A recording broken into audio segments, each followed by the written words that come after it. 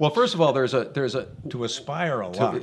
yes, there's one difference between what what happens now and what used to happen, and and, and I don't quite understand it, but it is uh, that um, when Dave and I were starting out, and and and a lot of writers work this way. I mean, it didn't do us a lot of good, but uh, when they want to get into the situation comedy business, they used to write a spec script for an existing show, just as we discussed before, and then and then the the the producers of that show would never give you a job, but somebody else on another show might say, "Well, they're pretty good. Look at the great job they did on on you know on on on the on the uh, Seinfeld episode or whatever."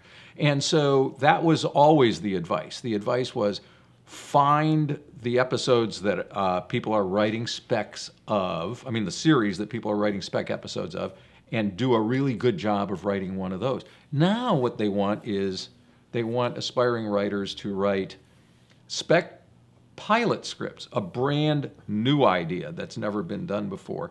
And somehow, I think they're hoping at some level that that something will be so good that in addition to being a good writing sample, it will uh, actually sell and become a series. But what Dave said is absolutely true. Aspire a lot. You just have to write all the time. And in addition to uh, writing a uh, pilot, it, it's a practical solution too, because today's shows are on and off so fast that if you sit down and write one yeah. about a show series you like, you know, three months later it could be gone and nobody saw it, nobody remembered it, so they don't know if you've captured the characters uh, at all. And but that's you know, really what they're looking for: how well you can capture the characters. It's all about. It's all. I, I think aspire a lot is is is in fact the answer. It's all about yeah. writing all the time. Because if you don't write all the time, in some way or other, either something that's on the air or something new, if you're not constantly working hard to write, then when that inevitable break comes, like like you know Turteltaub and Orenstein, who never read a sitcom that we'd written,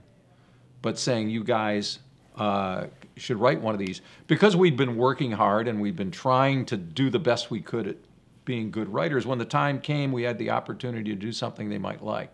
And if people don't do that, then I don't think uh, there's a chance. And I also think that the that the that the, the internet pr- provides a lot of opportunities for people now to um, get involved with projects that are. Um, you know that may not have huge huge audiences and people don't know that much about, but are a chance to show what you can do as a writer. And the greatest weapon I think you can have on your side is wanting to do it badly. Yeah, really, right. really having a passion for it because that will just keep you keep you uh, heading into all the through all the obstacles and all the setbacks. Yeah.